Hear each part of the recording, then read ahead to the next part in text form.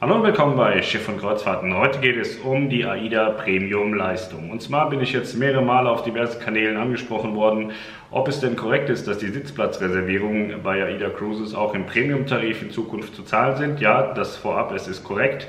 AIDA hat das alles ein bisschen geändert und sagt, dass aufgrund der verschiedenen Varianten an Sitzplätzen, die man reservieren kann im Flugzeug, die Preise komplett variieren und man damit kein einheitliches Preissystem abbilden kann, weshalb mit dem Katalog Februar 2020 bis April 2021 die Sitzplatzreservierungen, die inkludierten Sitzplatzreservierungen für die Premium-Bucher wegfallen.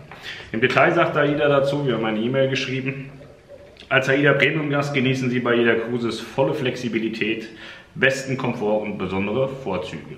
Das war bisher auch so, jetzt äh, kommen wir aber dazu, was wegfällt. Die Preise für vorab reservierte Sitzplätze werden durch die Fluggesellschaften sehr verschieden gestaffelt.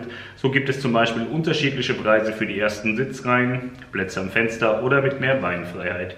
Diese vielfältigen Varianten sind zukünftig nicht mehr über ein einheitliches Preismodell abzubilden. Mit der Aufhebung dieser AIDA Premium-Leistung möchten wir Ihnen die Möglichkeit geben, individuell zu entscheiden, welche Leistungen Sie in Anspruch nehmen und zahlen möchten.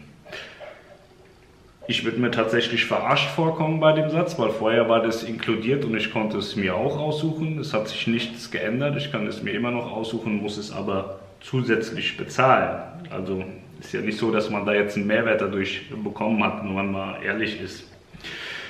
Selbstverständlich können Sie auch weiterhin Ihre Sitzplatzreservierung über uns vornehmen. Wir bitten Sie um Verständnis, dass wir Ihnen die Gebühren der Airline nun in Rechnung stellen müssen. Diese Änderung ist gültig für alle Reisen aus dem neuen AIDA-Katalog Februar 2020 bis April 2021.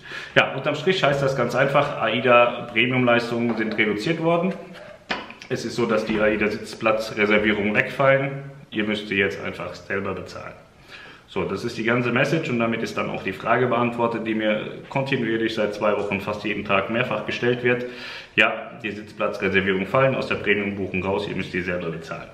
Das war es auch schon wieder gewesen. Ich sage danke und bis zum nächsten Mal. Macht's gut, ciao.